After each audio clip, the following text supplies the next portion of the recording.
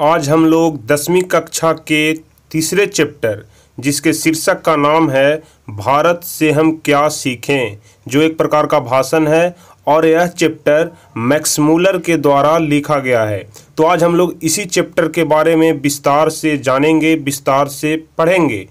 और इस चैप्टर से संबंधित जितने सारे भी सब्जेक्टिव क्वेश्चंस हैं जो कि आपके बुक में दिए गए हैं, उन सभी क्वेश्चंस को हम लोग बारी बारी से देखेंगे। तो चलिए, उन सभी क्वेश्चंस का उत्तर हम आपको बारी बारी से बतलाते हैं। तो जल्दी से वीडियो को लाइक कर दीजिए और चैनल को अभी तक सब्सक्राइब नहीं किए हैं तो नीचे रेड कलर के बटन को दबा करके चैनल को जल्दी से सब्सक्राइब कर लीजिए। और साथ में बेल आइकन ज़रूर दबाइएगा, जिससे कि आगे के सारे वीडियो का नोटिफिकेशन आपको मिलता रहे। तो सबसे पहले हम चैप्टर के बारे में देख लेंगे और लेखक के जो परिचय है, उसके बारे में पढ़ेंगे। तो सबसे पहले हम चैप्टर देखेंगे कि इसके शीर्षक का नाम है, भारत से हम क्या सीखें, जो एक प्रकार का भाषण है। एक, इसे आप याद रखिएगा कि भारत से हम क्या सीखें, एक प्रकार का भाषण है। जिस प्रकार से हम आपको पहले चैप्टर में बताए थे कि श्रम विभाजन और जाति प्रथा एक प्रकार का निबंध है, और दूसरे चैप्टर में बताए थे कि बीस के दांत एक प्रकार का कहानी है। उसी प्रकार से भारत से हम क्या सीखे, एक प्रकार का भाषण है, जो कि मैक्समूलर के द्वारा लिखा गया है। तो सबसे पहले हम कुछ मैक्समूलर के बारे में जान लेंगे। इनका जन्म कब हुआ था, इनकी मृत्यु कब हुई, इनकी प्रमुख रचना कौन कौन सी है? तो सभी कुछ हम मैक्समूलर के बारे में थोड़ा शॉर्ट में देख लेंगे। तो सबसे पहले हम इसके लेखक के बारे में अगर बात करें तो भारत से हम क्या सीखें? इस चैप्टर के लेखक मैक्स मुलर हैं। इनका जन्म 6 दिसंबर 1823 ईस्वी को जर्मनी के टेसाउ नगर में हुआ था। और अगर इनकी मौत की बात करें तो इनका मौत 1900 ईस्वी में हो गया था। अब हम लोग देखेंगे कि स्वामी विवेकानंद ने मैक्समूलर को वेदांतियों का भी वेदांती कहा है। स्वामी विवेकानंद ने मैक्समूलर को वेदांतियों का भी वेदांती कहा है। आपके एग्ज़ाम में यह पूछ सकता है कि स्वामी विवेकानंद ने मैक्समूलर को कौन सी उपाधि दी थी? तो आपको बताना है, वेदांतियों का भी वेदांती। अगर इनकी प्रमुख रचना की बात किया जाए, मगर कहने का मतलब कि मैक्समूलर की प्रमुख रचना तो हितोपदेश है, जिसका यह जर्मन भाषा में अनुवाद किए हैं। हितोपदेश का यह जर्मन भाषा में अनुवाद किए हैं कौन? तो मैक्स मूलर। अब हम लोग सबसे पहले देखेंगे क्वेश्चंस को देखने से पहले भारत से हम क्या सीखें कहानी का सारांश? क्योंकि आपका यह जो सारांश है, जो कि हर एक चैप्टर का, किसी भी चैप्टर का सारांश आपको एग्ज़ाम में पूछ सकता है, जो कि सीधे दस नंबर का पूछा जाता है। तो आपको सबसे पहले कोई भी कहानी का क्वेश्चन आंसर पढ़ने से पहले आपको उस कहानी का सारांश पढ़ना बहुत ज़्यादा ज़रूरी है। तो सबसे पहले आप इसका सारांश देखिए, क्योंकि यह एग्ज़ाम में दस नंबर का पूछा जाता है। तो आप इसको भी वी आई क्वेश्चन भी समझिएगा, क्योंकि यह बहुत ज़्यादा इंपॉर्टेंट है। तो भारत से हम क्या सीखे? पहले हम लोग इस कहानी का सारांश देखेंगे। तो भारत से हम क्या सीखे? शीर्षक कहानी, उस भाषण का अनुवाद है, जिसमें मैक्समूलर यह बताना चाहते हैं कि विश्व का अगर कोई भी देश ने सभ्यता, संस्कृति रहन सहन रीति रिवाज सीखा है तो वह देश है भारत। मतलब भारत ही एकमात्र ऐसा देश है, जहाँ सभ्यता, संस्कृति रीति रिवाज बहुत अच्छी तरह से है। हमारा भारत देश धन धान से, प्राकृतिक सुंदरता से हरा भरा है। लेखक के हर दृष्टिकोण से भारत एक परिपूर्ण देश है। मतलब इस भाषण में जो मैक्समूलर है, वह भारत देश के बारे में बतलाना चाह रहे हैं। लेखक के अनुसार अगर धरती पर कहीं स्वर्ग दिखलाई पड़ता है तो वह भारत देश ही है। मतलब लेखक यहाँ कहते हैं कि भारत एक ऐसा देश है, जहाँ धरती पर ही स्वर्ग दिखलाई पड़ता है। इन्हें गाँवों का नज़ारा मनमोहक लगता है। मतलब आप लोग सभी लोग जानते होंगे कि भारत एक गाँव का देश है और यहाँ जो गाँव का नज़ारा होता है, वह बहुत ही मनमोहक लगता है। सच्चा दर्शन और आत्मा का निवास गाँवों में होता है। आपके एग्ज़ाम में पूछ सकता है कि आत्मा का निवास कहाँ होता है? तो आपको इस, इसका जवाब देना है कि आत्मा का निवास गाँव में होता है, न कि शहरों में। ये तो यहाँ पर लेखक कहते हैं कि सच्चा दर्शन और आत्मा का निवास गाँवों में होता है न कि शहरों में, क्योंकि शहर बहुत ज़्यादा प्रदूषित होते हैं। आप लोग जो भी स्टूडेंट शहर में रहते होंगे, वे अच्छी तरह से जानते होंगे कि शहर कितना प्रदूषित होता है। एक यहाँ तक कि कोई कोई शहर तो ऐसा है जहाँ सांस लेना भी मुश्किल हो जाता है। इस देश में जितनी विभिन्नताएँ पाई जाती है, शायद ही किसी देश में पाया जाता होगा, जहाँ हर संप्रदाय के लोग रहते हैं, जिनका भाषा, धर्म रीति रिवाज सभ्यता संस्कृति अलग अलग होती है। कहने का मतलब कि भारत ही मात्र एक ऐसा देश है, जहाँ हर एक संप्रदाय के लोग रहते हैं हर एक जाति धर्म के लोग रहते हैं हर एक भाषा बोलने वाले लोग रहते हैं, और हर एक और हर एक सभ्यता संस्कृति वाले लोग रहते हैं। हिमालय से कन्याकुमारी की यात्रा अति सुंदर है। मतलब भारत में हिमालय से कन्याकुमारी तक का जो यात्रा होता है, इसे लेखक अति सुंदर बतलाए हैं। विश्व की सबसे प्राचीन भाषा संस्कृत को माना जाता है। विश्व की जो सबसे प्राचीन भाषा होता है, वह संस्कृत भाषा को ही माना जाता है, जिसे भाषाओं की जननी भी कहा जाता है। ऑब्जेक्टिव क्वेश्चन में आपका पूछ सकता है कि भाषाओं की जननी कौन सी भाषा को कहा जाता है? तो इसका जवाब आपको देना है, संस्कृत भाषा को भाषाओं की जननी कहा जाता है, जो हमें अतीत से लेकर सुदूर भविष्य तक जोड़ने का कार्य करती है। हमारा भारत एक ऐसा देश है जो दुश्मनों को भी गले लगाता है। मैक्समूलर ने भारत एक प्रयोगशाला के रूप में देखे हैं। जिसमें सीखने, सिखाने की योग्यता पाई जाती है। मतलब भारत एक ऐसा देश है जहाँ एक दूसरे को लोग सिखाते हैं। इसके अलावा किसी भी देश में इस प्रकार की कोई भी चीज़ नहीं पाई जाती है। तो यहीं आपका जो चैप्टर था, भारत से हम क्या सीखे, इसका एक सारांश था। तो इसी कहानी को विस्तार से आपके बुक में पढ़ना है और उस कहानी का सारांश हम आपको यहाँ बताए, जो कि आपके एग्ज़ाम में दस नंबर का पूछा जाता है। तो आप इसे बहुत ही ध्यान से समझ लीजिएगा। अगर एक बार में न समझ आए तो आप वीडियो को दोबारा भी देखिएगा। तो चलिए इसके आगे हम बढ़ते हैं आपके बुक वाले क्वेश्चन पर। अब हम आपके बुक से सबसे पहले नंबर क्वेश्चन को देखेंगे। तो सबसे पहला नंबर क्वेश्चन कहता है कि भारत को पहचान सकने वाली दृष्टि की आवश्यकता किसके लिए वांछनीय है और क्यों है?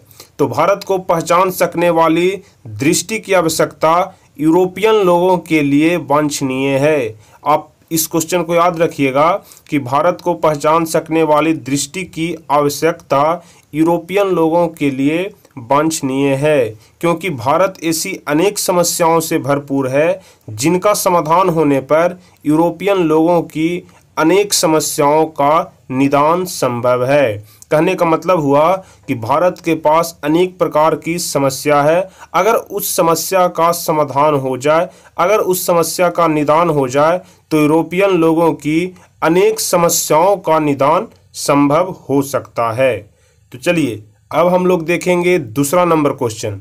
तो दूसरा नंबर क्वेश्चन कहता है कि लेखक ने किन विशेष क्षेत्रों में अभिरुचि रखने वालों के लिए भारत का प्रत्यक्ष ज्ञान आवश्यक बताया है। क्वेश्चन को फिर से देखते हैं कि लेखक ने किन विशेष क्षेत्रों में अभिरुचि रखने वालों के लिए भारत का प्रत्यक्ष ज्ञान आवश्यक बताया है।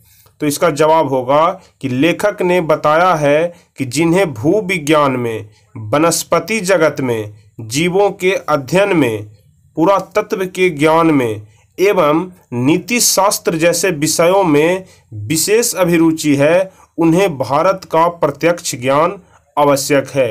हम आपको जितने सारे भी यह क्वेश्चन बतला रहे हैं, यह सभी क्वेश्चन एग्ज़ाम में दो नंबर से पूछे जाते हैं। इसलिए इसका जवाब भी आपको कुछ शॉर्ट में ही देना है। अगर हमें लगेगा कि इसका जवाब थोड़ा लॉन्ग होगा तो हम आपको उसका लंबा आंसर भी लिखाएँगे। लेकिन यह सभी क्वेश्चन दो नंबर के पूछे जाते हैं।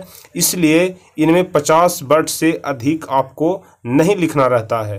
तो चलिए, फिर से हम लोग दूसरे क्वेश्चन को देखेंगे कि लेखक ने बताया है कि जिन्हें भू विज्ञान में वनस्पति जगत में, जीवों के अध्ययन में, पुरातत्व के ज्ञान में, एवं नीति शास्त्र जैसे विषयों में विशेष अभिरुचि है, उन्हें भारत का प्रत्यक्ष ज्ञान आवश्यक है। अब हम लोग देखेंगे तीसरा नंबर क्वेश्चन कि लेखक की दृष्टि में सच्चे भारत के दर्शन कहाँ हो सकते हैं और क्यों? लेखक की दृष्टि में मतलब मैक्समूलर की दृष्टि में, सच्चे भारत के दर्शन कहाँ हो सकते हैं और क्यों हो सकते हैं?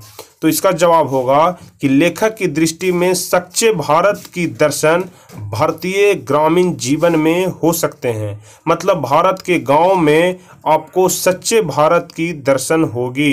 क्योंकि भारत के गाँव में सभ्यता संस्कृति कूट कूट कर भरी रहती है। भारतीय ग्राम संस्कृति में सच्चा भारत निहित है। क्योंकि सच्चाई, प्रेम करुणा, सहयोग की भावना ग्रामीणों में कूट कूट कर भरा होता है। अगर आप शहर में जाते हैं तो वहाँ कोई भी लोग एक दूसरे की मदद नहीं करते हैं, जबकि गाँव में सभी लोग एक दूसरे की मदद करते हैं, समाज में रहते हैं। और गाँव में प्रेम, करुणा, सहयोग की भावना लोगों में कूट कूट कर भरा रहता है। इसलिए यह बात लेखक कहते हैं कि सच्चे भारत के दर्शन गाँव में हो सकते हैं।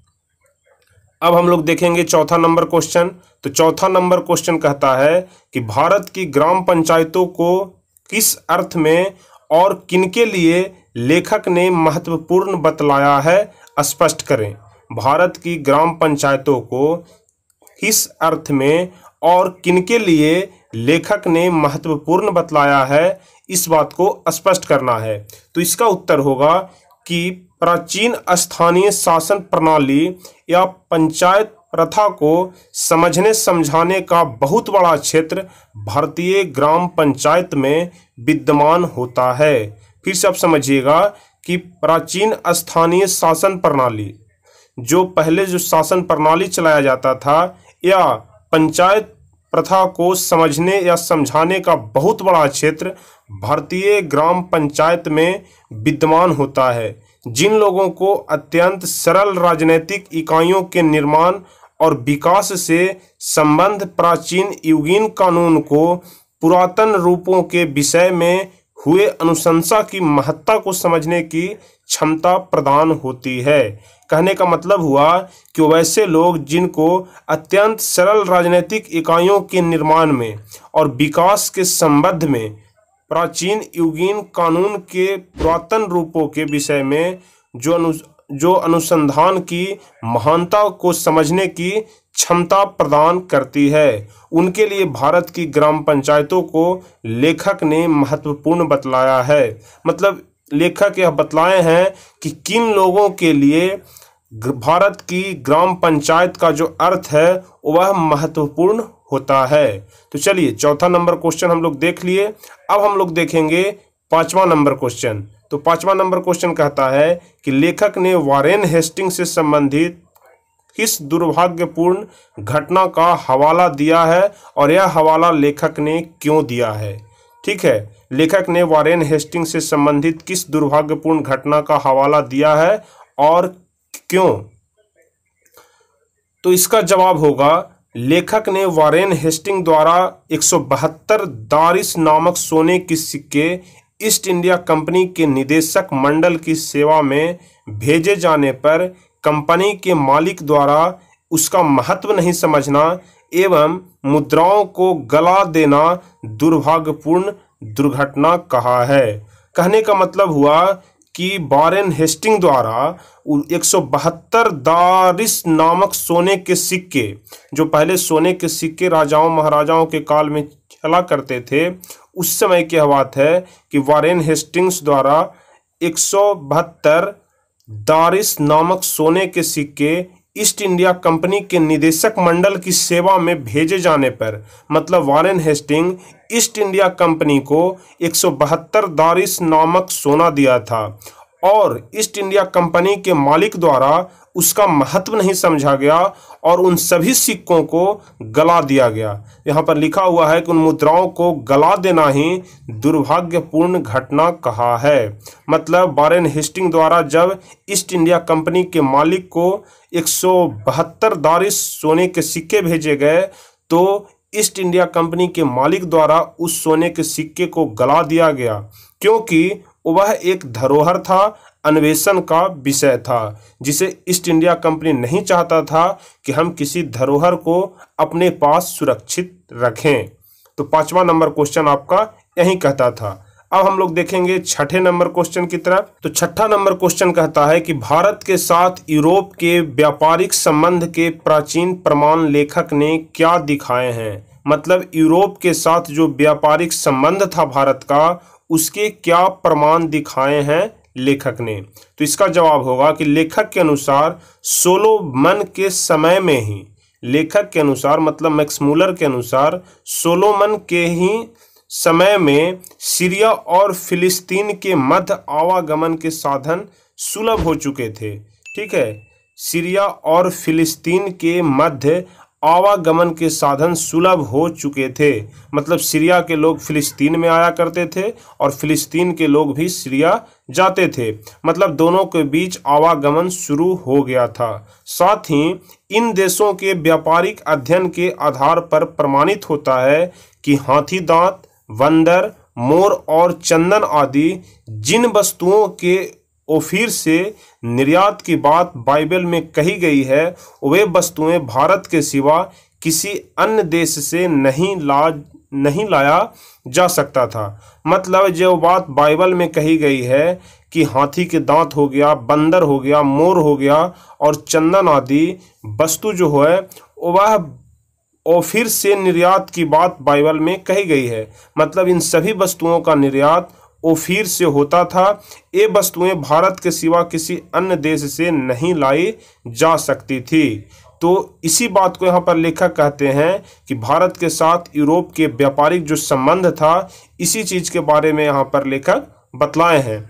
अब हम लोग अगले वीडियो में सातवां नंबर क्वेश्चन को देखेंगे। तो चलिए, सातवां नंबर क्वेश्चन के बाद से हम आपको अगले वीडियो में बताएँगे।